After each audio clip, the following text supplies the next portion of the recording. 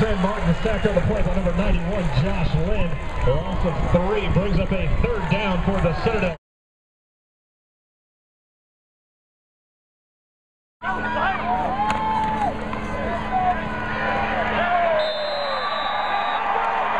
Number 30, Jerry Williams on the carry, good for three yards and a Furman Paladin touchdown.